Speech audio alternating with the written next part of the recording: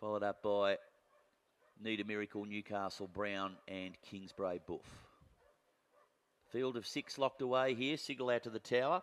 Bunny set into motion. Set for a break. Grafton race number six. Ready.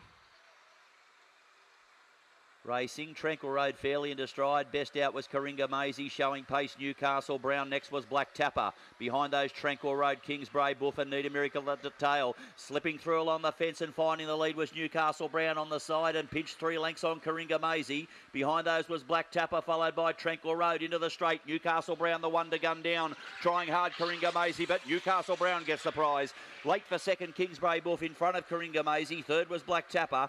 Behind those was Need a Miracle and the tail of Tranquil Road. Newcastle Brown back to his best tonight. Coringa Maisie clearly beat him out of the boxes, but by the time they reached the uh, top corner, had beaten Coringa Maisie for speed to slip up along the fence and dash clear. And has dominated in the run to the line, scoring in 23 27. Newcastle Brown first, number four, defeating Kingsbury Buff, which is charged home to grab second in front of the early leader, number seven, Coringa Maisie. Four, six, and seven, the numbers. Three and three quarter lengths the winning margin. Three and three quarters. One length between second and third.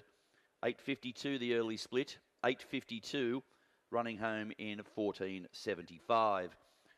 Officially fourth was number three, Black Tapper. Four